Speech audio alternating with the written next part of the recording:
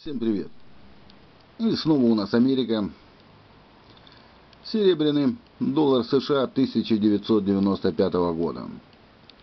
Посвященный гражданской войне в США, проходившей с 1861 года по 1865 год. Между соединением 24 нерабовладельских штатов севера с 11 рабовладельскими штатами юга. Ходе войны произошло около 2000 сражений. В данной войне граждан США погибло больше, чем в любой другой из войн, в которых участвовали США. Потери северян составили 360 тысяч убитыми и 275 тысяч ранеными.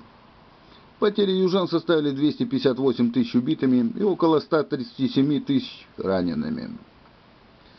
Война закончилась победой северных штатов и отменой рабства. Одним из следствием войны стала смерть президента Линкольна. 14 апреля 1865 года на него совершил покушение сторонник южан Джон Уилксбут.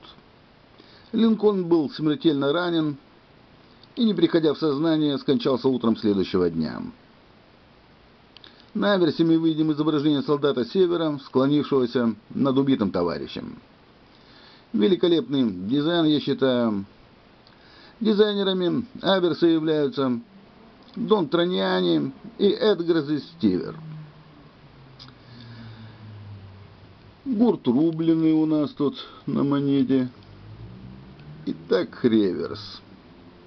На реверсе можем наблюдать цитату героя гражданской войны бригадного генерала Джошуа Чемберлена, участник знаменитой битвы при Геттисберге 1 и 3 июля 1863 года, являющейся переломной битвой этой войны. Эта речь была сказана им при открытии монумента при Геттисберге 3 октября 1889 года в память о погибших и послание грядущим поколениям. Дизайнером реверса является знакомый нам уже Джон Мерканти. Монета серебряная, 900 проба, вес монеты 26 грамм, 73 миллиграмма. Монета печаталась на двух монетных дворах – в Филадельфии и Сан-Франциско.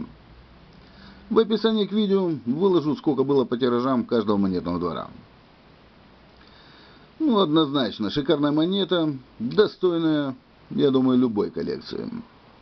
На этом ограничусь с наилучшими пожеланиями, Дмитрий.